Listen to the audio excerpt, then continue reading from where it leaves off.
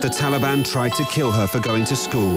They only made her stronger. Her name is Malala, and she talks to CNN's Christiane Amanpour. Her story, her future, her dreams.